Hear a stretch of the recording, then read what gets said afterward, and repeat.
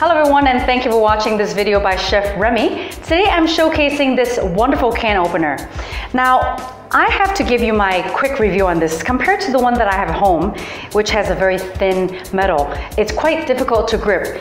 With the Chef Remi can opener, it's got a very soft, cushioned uh, anti-slip handle. So especially if you have arthritis or any problems, it'll be easy for you to grip without ha having to hold onto it very tightly.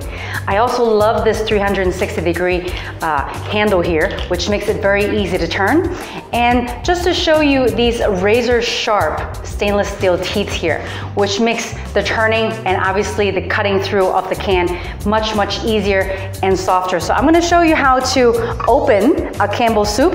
Obviously, it's very easy. You just put these two teeth between, hold on to it. You don't need to hold on too tightly, and just turn.